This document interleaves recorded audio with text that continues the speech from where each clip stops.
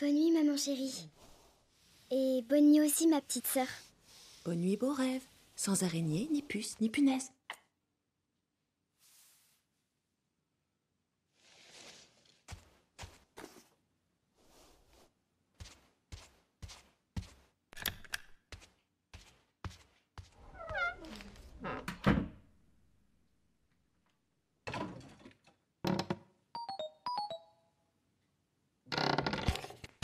Myrtille, réveille-toi. On va écrire la lettre au Père Noël. Réveille-toi, réveille-toi, réveille-toi. Myrtille, On fera ça demain. Je dors. Myrtille.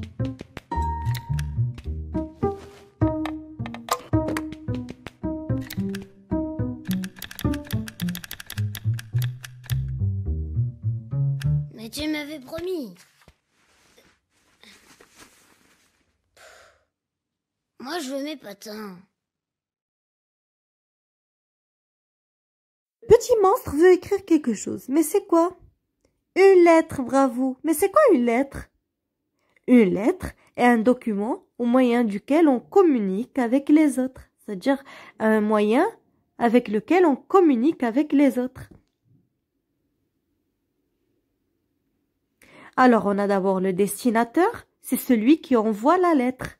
Comme le petit monstre et la petite fille, Myrtille, sont des destinateurs. Et le destinataire, c'est celui qui reçoit la lettre, comme ici le Père Noël. Maintenant, on va voir les parties d'une lettre. On commence d'abord par la date. On peut même ajouter le lieu. Ça veut dire Casa, Rabat, Tanger, etc. Puis, on ajoute la formule d'appel. Cher Pierre. D'accord? On met cher plus le prénom. D'accord?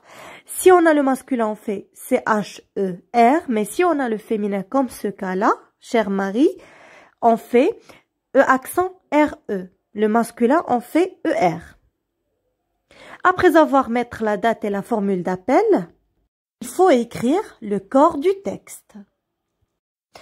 Se présenter brièvement si c'est la première fois qu'on va s'adresser à cette personne, ou bien répondre aux questions posées déjà dans la première lettre, ou bien parler de ce qui arrive dans sa vie, c'est-à-dire raconter ce qui nous arrive dans l'école, ou bien les activités qu'on fait, etc. Ou bien poser des questions par rapport à la vie, ou bien à la, culture du personne qui nous a envoyé la lettre. Par exemple ici, on voilà le corps du, de la lettre.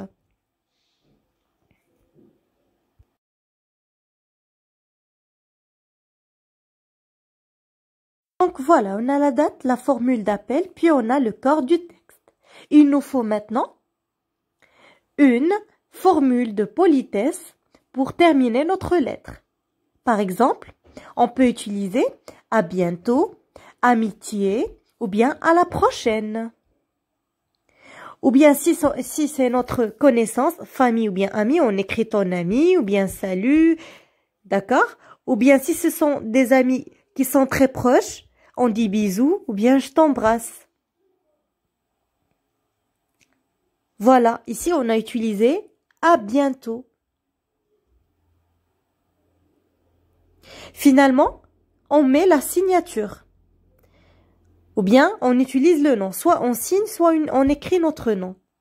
Comme dans cet exemple. Voilà, on a utilisé la date, la formule d'appel, le corps du texte, la formule pour terminer la lettre et finalement notre nom. C'est simple, n'est-ce pas, mes chers élèves?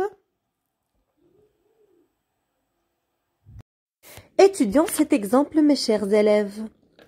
Voilà, on va voir les parties. On a la première partie, on a la date et la ville.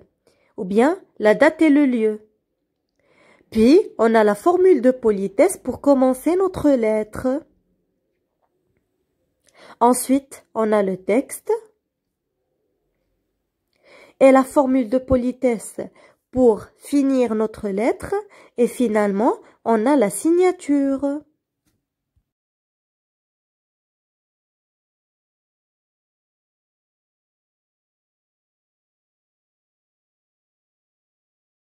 Exercice Alors mes chers élèves, dans cet exercice, on va, on compléter par les parties manquantes. Numéro 1, on a formule d'interpellation. D'accord? C'est-à-dire euh, la formule avec laquelle on commence la lettre. 2. Le contenu de la lettre, le texte. 3. La formule d'adieu, c'est-à-dire la formule avec quoi on termine la lettre. Et 4. On a la signature. Et ensuite, on a A, B, C et D. C'est facile. Correction. Alors, mes chers élèves, dans la formule d'interpellation, on a utilisé D, c'est cher oiseau. Puis, on doit chercher le texte. C'est B. Alors B, on va le mettre dans la partie numéro 2. Puis, on a la partie numéro 3, c'est la formule d'adieu, c'est A. Et finalement, la signature, c'est C. Ton ours, c'est numéro 4.